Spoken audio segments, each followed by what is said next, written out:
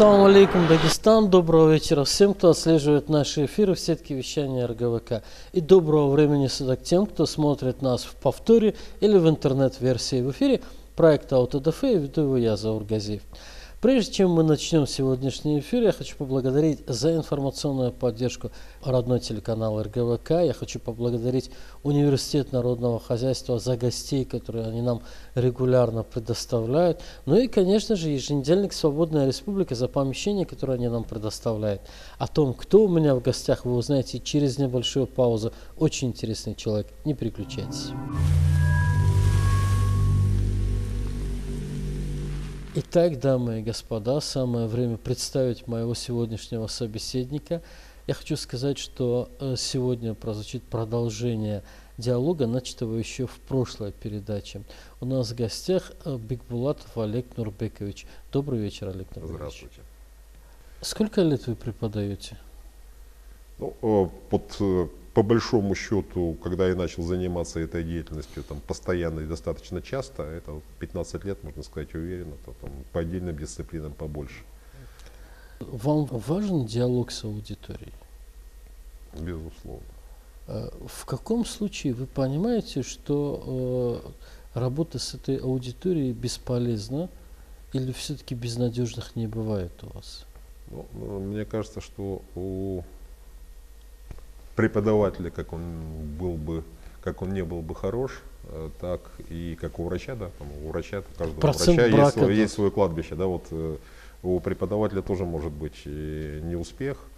Э, если вот думать про это, то это скорее всего вот какие-то вот такие, знаете, там общие основания. Одно время я достаточно долго, когда вот из живого бизнеса начал постепенно в сферу преподавания переходить, то я очень много проводил курс, связанный с продажами.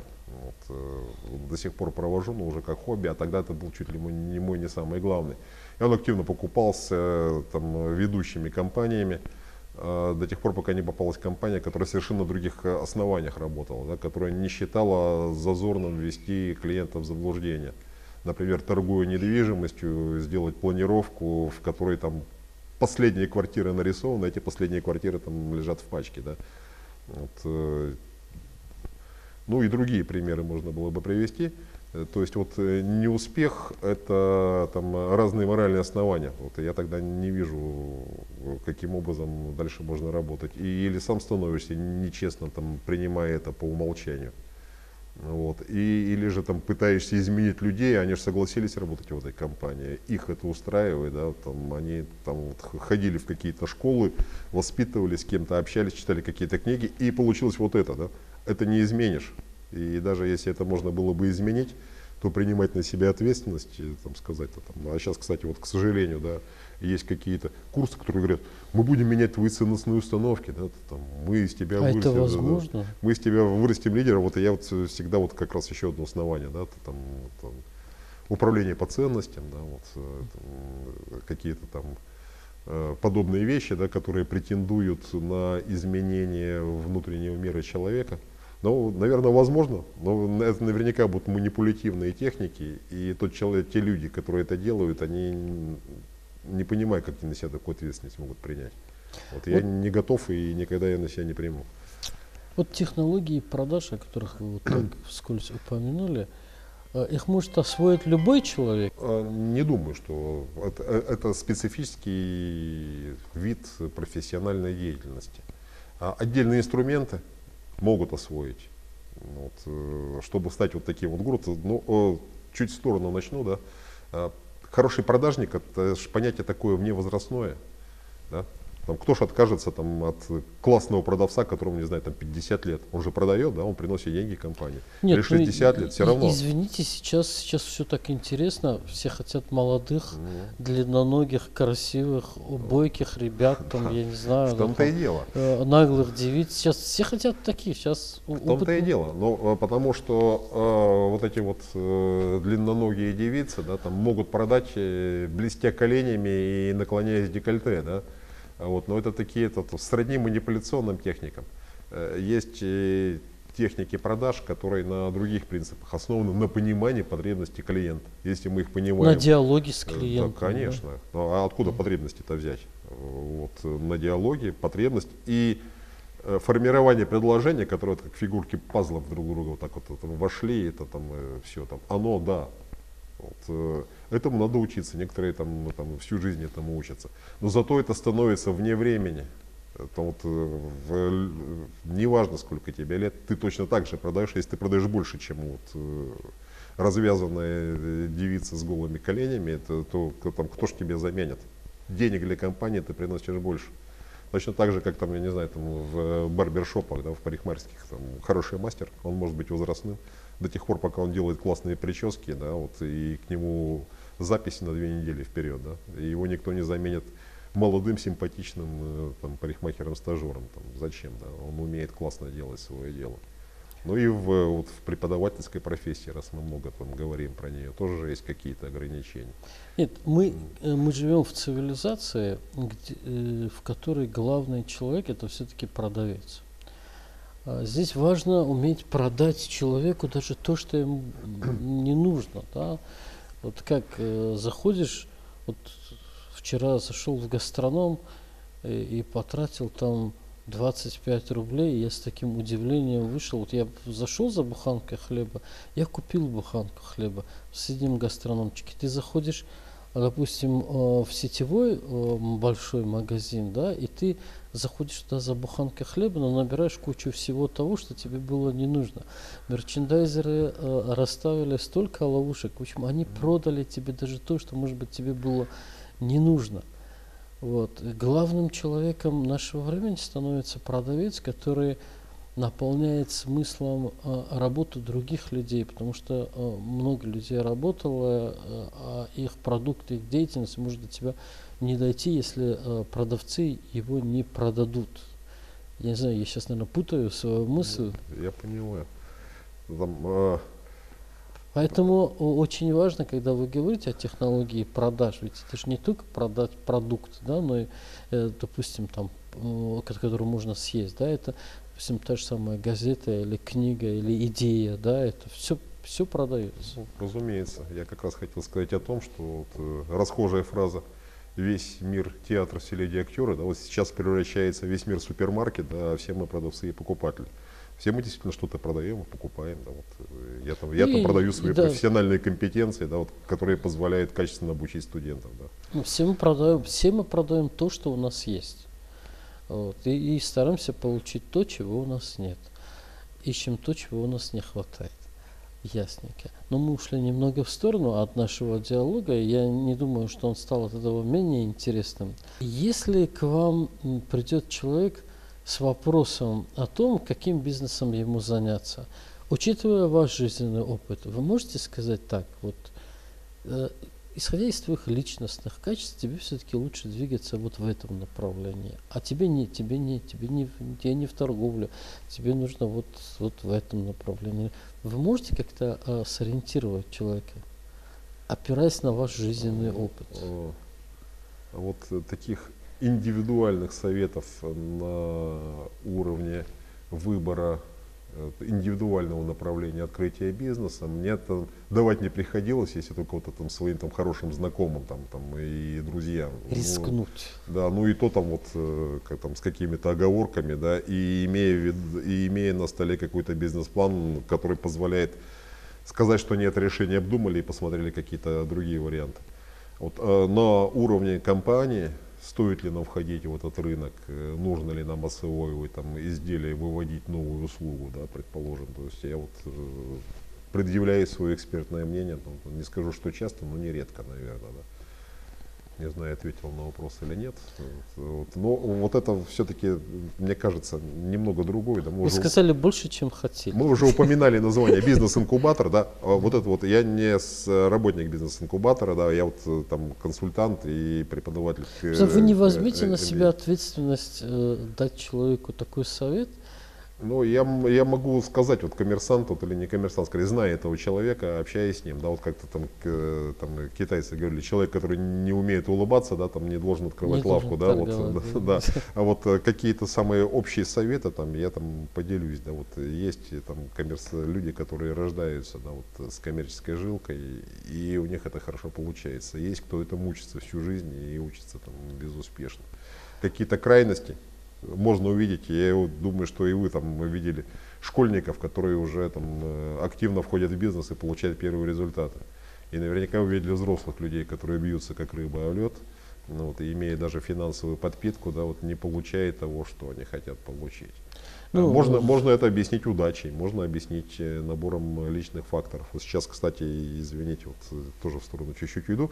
Э, Одно из кардинальных изменений современного менеджмента заключается в том, что как раз именно удачей стали многие э, вещи объяснять. Совершенно ра- неожиданно. Да, если раньше говорили, посмотрите, там, там Apple, там, Стив Джобс придумал там без клавиатуры, да, вот это, потом это пошло, там еще что-то, да, то сейчас многие там, а еще было рядом, вы про них не знаете.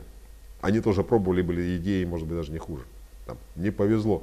Я присутствовал при совершенно э, классной э, э, демонстрации, да, вот этого тезиса, который вот какой-то там э, человек э, из известной бизнес-школы проводил, сейчас не могу вспомнить его имени. Он просил аудиторию подкидывать монетки, и мы все стали, начали эти монеты подкидывать. Он говорил, пока у вас выпадает подряд решка или подряд орел, вы стоите, да, как только у вас орел решка местами поменялся, садитесь.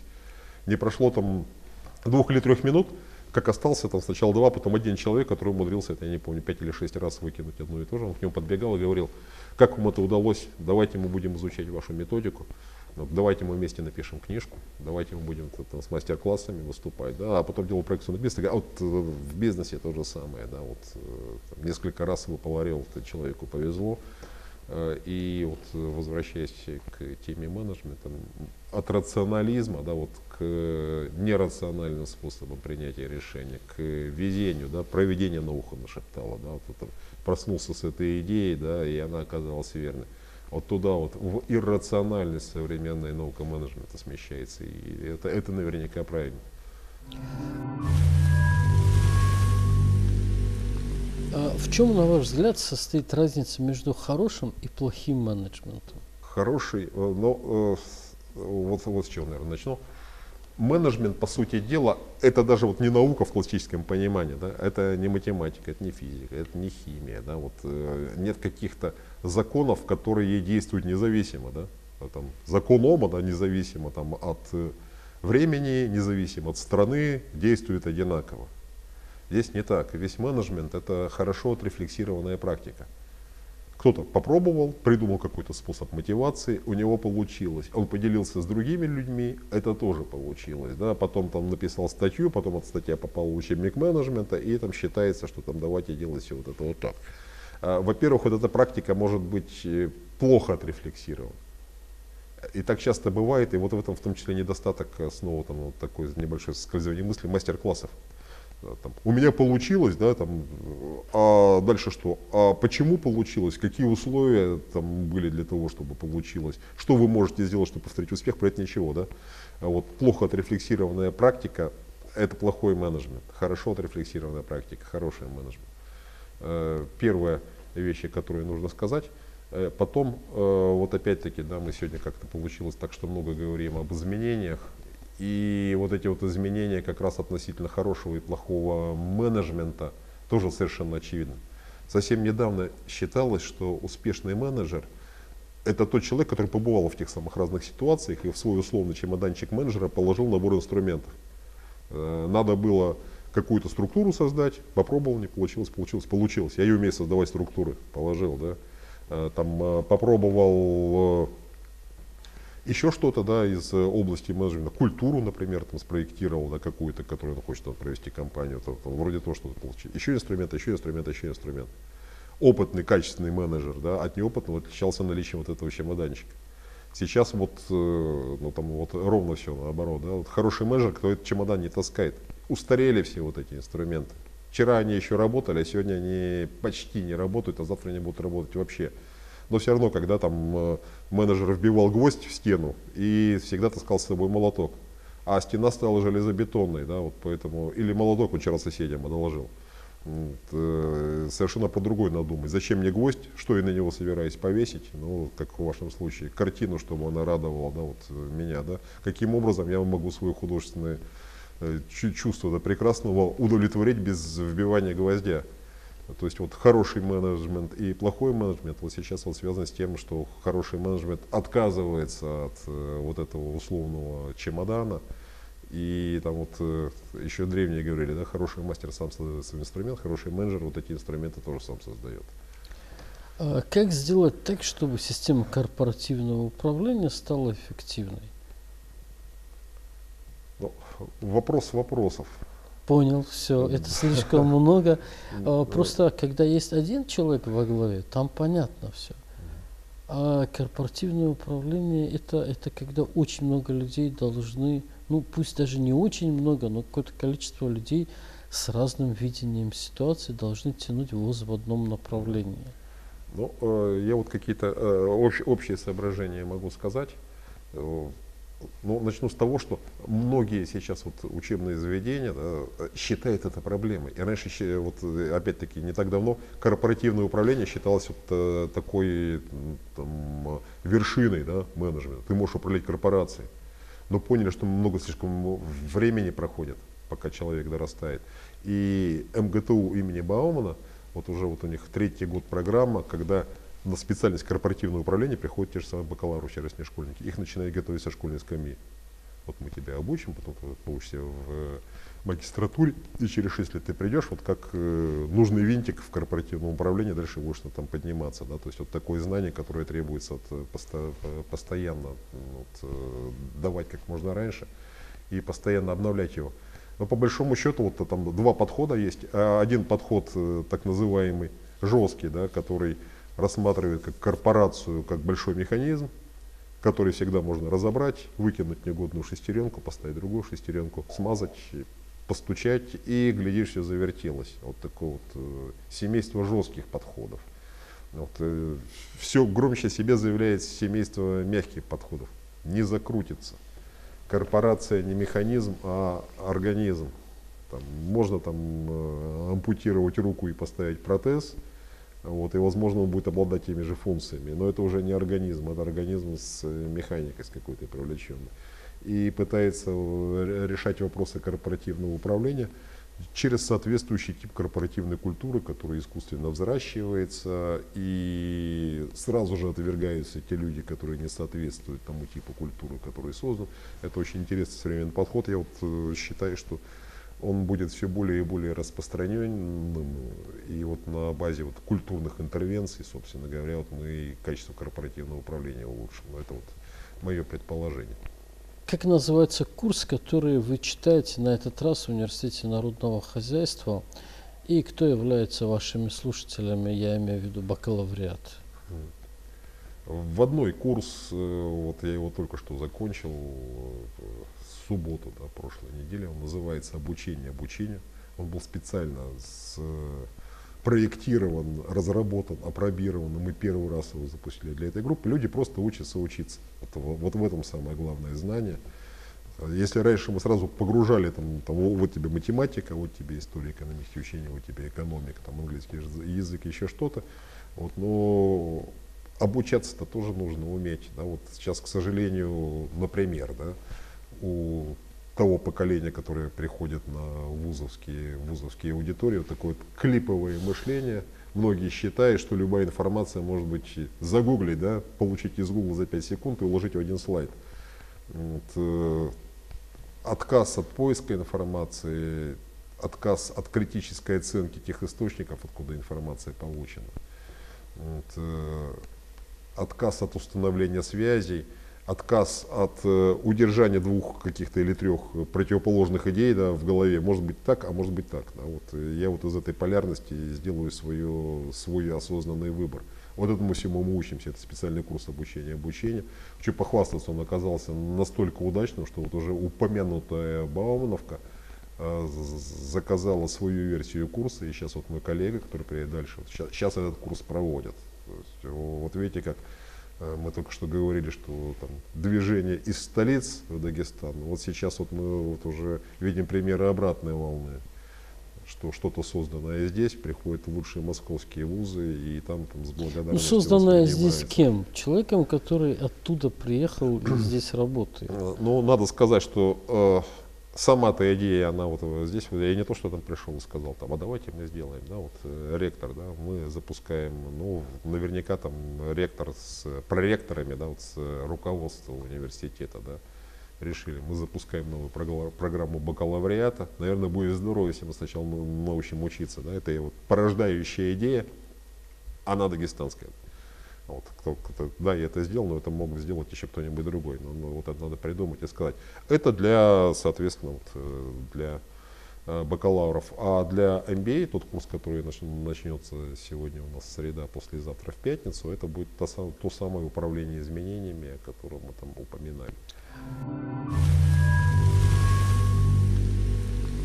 Насколько, на ваш взгляд, важно, чтобы люди, которые занимаются общим делом, я имею в виду бизнес, э, все-таки придерживались общих ценностей, духовных, идеологических, э, ну какие они еще могут, нравственных ценностей. Э, можно ли э, дистанцироваться от этого и там вот это чисто бизнес, ничего личного? Угу, угу. Ну, э, если коротко, то критически важно, на мой взгляд. Э, насчет э, дистанцирования, ну там на каком уровне мы находимся, да, вот, вот мы уже упоминали про то, что современная командная работа становится вот такой там через границы, да, кросс-культурная, межнациональная и так далее, да. Должны мы уметь э, вот, оценивать, относиться, да, нормально относиться к особенностям национального менталитета, да, там, к различным религиям, к тому, что там люди по-разному работают да, и так далее. Должны, да. Э, но до тех пор, пока вот это до уровня ценностей не доходит. Как, знаете, как говорят, там, о ценности их не спорят, их понимают. Да? Вот, э, если я не понимаю, если я не могу разделить эти ценности и с уважением к ним отнестись, то я думаю, что вот здесь вот ничего не получится. И лучше отойти в сторону, потому что ценностной конфликт – это разрушительный конфликт. И можно, это, это непреодолимо. И можно сделать общее дело, можно сделать и получить результат. Но настолько возненавидеть друг друга, да, что потом не сесть за один стол, и как потом этот вот внутри, внутриценностной конфликт аукнется не только в взаимоотношениях, но и внутри самого человека, да, вот э, непонятно еще. Да, вот, э, так что я вот э, сторонник того, что вот это непреодолимо и надо отходить. Это значит, все-таки, когда вы только-только затеваете дело, вы должны сесть и переговорить, насколько вы вообще друг другу подходите, да? Все-таки. Ну, ну да, вот если, если на уровне тут, предпринимателя, да, то как раз совместное предпринимательство исходит из того, что там, там, мы друзья или родственники. Там, не потому, что родственник всегда лучше, а как правило, там у родственников вот как раз вот эта ценностная система, базируется да, вот на одних и тех же основаниях. Или друзья, которые друг, друг друга знают и побывали в разных ситуациях. Вот, они уже были и они понимают это возможной реакции. А если это там большой бизнес, если это корпорация, ну, вот возникает э, описание ценностей, э, там, э, что там корпоративная этика как формальный документ, что можно и что нельзя, введение в компанию, которое тоже там позволяет человеку понять, э, впишется он вот в систему координации ценностную или лучше ему там сюда не приходить. Просто э, тут такой момент, когда даже очень разные люди могут найти общую почву. Допустим, приходите вовремя, допустим, да, а не опаздывайте, не подводите, не лгите, а не подставляйте. Есть, может быть, какой-то этический кодекс, э, прочитав который люди начинают как бы осознавать правила поведения, и даже если они очень разные, это могло бы как-то снять какие-то проблемы взаимоотношений.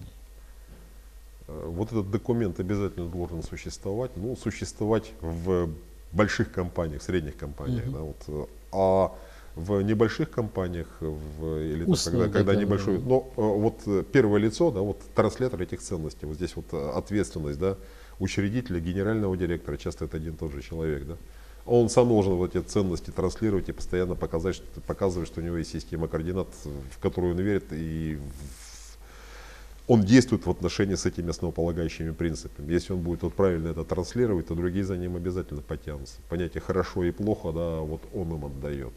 Вот. Э, оно начинает размываться, когда компания растет и уже не может быть одного эталона. Нужны другие ростки, да, вот, э, культурные для того, чтобы вот, продемонстрировать эти вот специальный термин, да, вот культурная интервенция. Взять и посадить носителя культуры туда, где он может эту, эту культуру распространять. Вы все чаще приезжаете в Дагестан. А зачем это вам? А приглашают ли вас в другие места? Вот насколько вам это интересно здесь? Действительно, приезжаю именно потому, что мне интересно. И я во многих местах бываю. Ну, вот, два с половиной месяца я в Украине проводил занятия.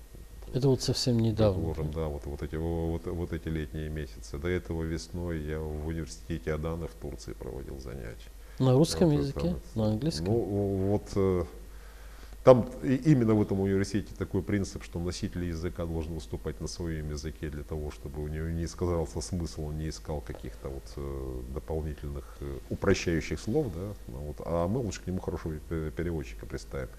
Э, я продолжаю сотрудничать с э, ведущими университетами Москвы, с МГУ, с РАНХИКС, э, с Баумановкой.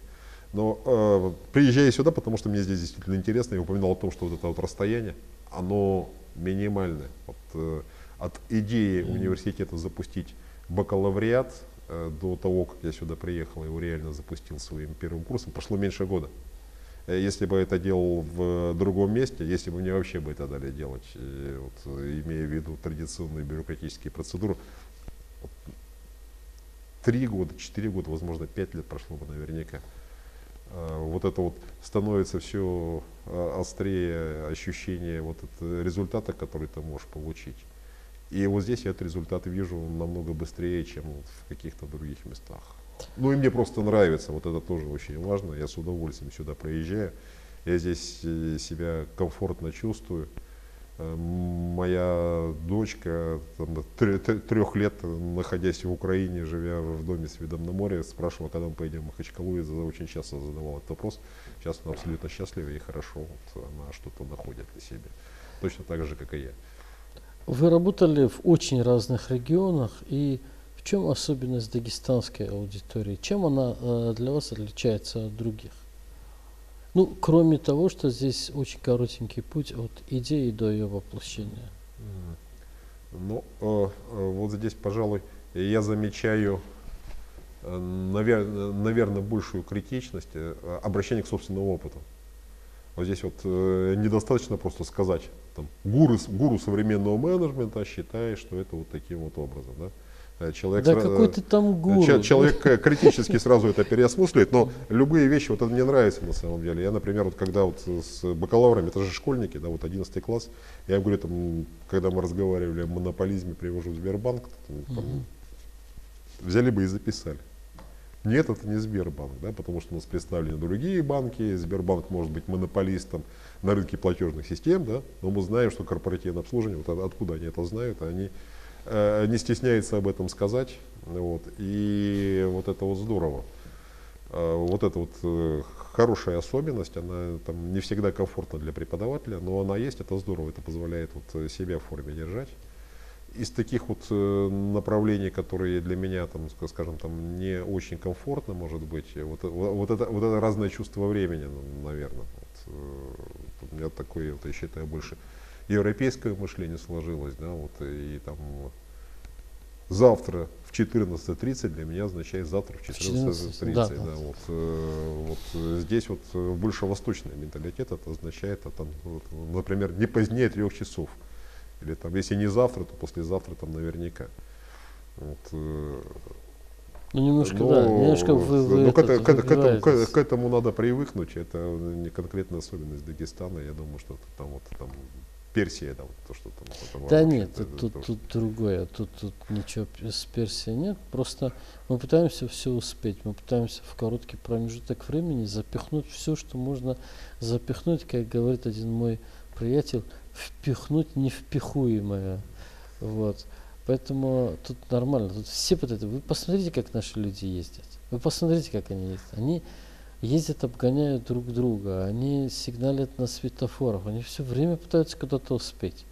А зачем вы куда-то пытаетесь успеть, если на следующем светофоре вам точно так же ждать, как и мне? Вот это немножко непонятно, но в этом суть наших людей. И э, когда ходишь в бассейн, ты видишь, что когда там больше, там, допустим, 10 человек, там такое же хаотичное движение, как и, допустим, на нашей улице 26 бакинских комиссаров, где все вот так ездят, такой маленький каир, вот, в лучшем понимании этого слова.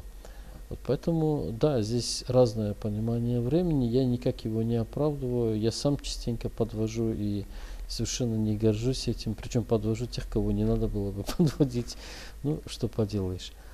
А, наверное, а, на этом вопросы, которые были приготовлены для этого интервью, исчерпаны. Остается, наверное, а, традиционный вопрос. Что бы вы делали, если бы вам запретили заниматься тем, чем вы занимаетесь сейчас? Я сам на эту тему иной раз размышляю, поскольку у меня нет каких-то вот таких э, необходимостей чем-то заниматься ради того, чтобы там, вот, поддерживать свое существование, да, вот, э, то, скорее всего, я бы там вот жил и вот как раз вот просто, там, просто, просто жил в удовольствии и передавал знания вот своему ребенку. Я упоминал, да, у меня тут девочка, которая три года, и я бы давал ей образование вот э, сам, да, вот она не пошла в школу, там, вот, я вот на, на этом. Спасибо вам большое. И спасибо э, еще раз за то, что подарили нам самое дорогое из того, что у вас есть ваше время. Я очень надеюсь, что вы у нас не в последний раз, хоть и второй раз такими молодыми мы уже не встретимся, как говорят немцы. Я должен вам, книгу я вам в прошлый раз дарил, наверное, я вам подарю несколько свежих э, последних номеров «Свободной республики». Э, я думаю, что э, вы как человек просвещенный можете на сайт зайти, а бумага будет просто для вас поводом вспомнить о том, что э, в этом городе у вас есть друзья не только в университете народного хозяйства, в лице господина Бучаева, но и вот здесь в еженедельнике «Свободная республика». Вот, и, наверное, уже на РГВК. Спасибо вам большое. Большое спасибо, Зоргер. Спасибо слушателям, тем, кто добрался до конца этой, этой передачи. И я, может быть, хотел бы сказать э, про то, что надеюсь, что у вас в гостях будут члены команды, которая подобрана и которая вместе со мной осуществляет этот образовательный процесс. Это интереснейшие будем, люди. Будем только признательны Это интереснейшие это. люди из самых разных сфер, из отлич, с отличным опытом. Я очень рекомендую продолжать смотреть этот цикл передач, который и сам по себе интересен. И я надеюсь, что вот мои коллеги даже уверен в этом, придадут новую остроту тому, что вы смотрите. Спасибо. Итак, дамы и господа, вы посмотрели окончание диалога с нашим гостем Бекбулатовым Олегом Нурбековичем. Самых терпеливых ждет притча, ну а я увижусь с вами уже через неделю. Она пройдет быстро. Всего доброго.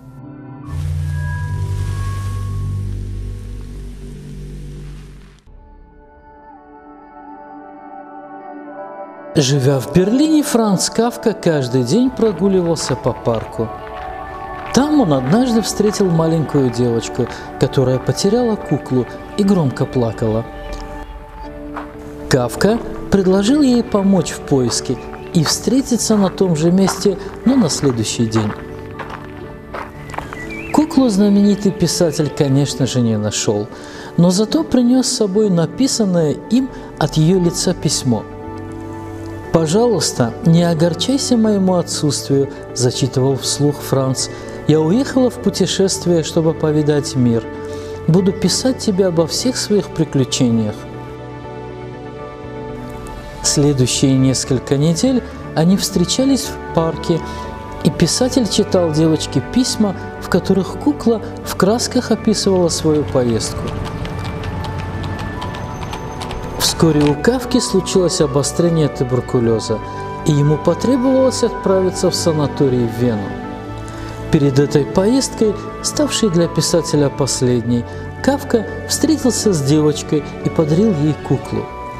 Она была совершенно не похожа на ту, что девочка когда-то потеряла, но к ней прилагалась записка. «Путешествия изменили меня, путешествия изменили меня».